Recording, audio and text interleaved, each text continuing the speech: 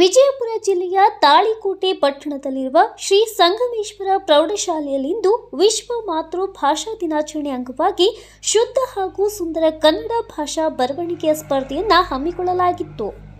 ಈ ಕುರಿತು ಮಾತನಾಡಿದ ಮುರಾರ್ಜಿ ವಸತಿ ಶಾಲೆಯ ಮುಖ್ಯ ಗುರುಗಳಾದ ರವಿಕುಮಾರ್ ಶಾಂತಗಿರಿಯವರು ಮಾತನಾಡಿ ಮಾತೃಭಾಷೆಯ ಉಗಮದ ಬಗ್ಗೆ ಸಹ ವಿಸ್ತಾರವಾಗಿ ವಿದ್ಯಾರ್ಥಿಗಳಿಗೆ ಕನ್ನಡ ಭಾಷಾಭಿಮಾನವನ್ನು ಹೇಗೆ ಮತ್ತು ಏಕೆ ಬೆಳೆಸಿಕೊಳ್ಳಬೇಕೆಂಬುದರ ಕುರಿತು ಕನ್ನಡ ಭಾಷೆಯ ಉಗಮ, ಇತಿಹಾಸದ ವಿಸ್ತಾರವಾಗಿ ಮಕ್ಕಳಿಗೆ ಮಾಹಿತಿ ನೀಡಿದರು.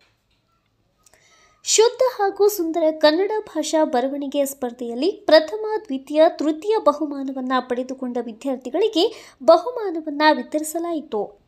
ಈ ಸಂದರ್ಭದಲ್ಲಿ Ashok Katti S B Jamagundi, B I Hireholi, M S Raygond, H P Patil, Renuka Yaratihal Ambika Gumshetti ಸೇರಿದಂತೆ ಹಾಗೂ ಸಿಬ್ಬಂದಿ ವರ್ಗದವರು ಕಾರ್ಯಕ್ರಮದಲ್ಲಿ ಉಪಸ್ಥಿತರಿದ್ದರು.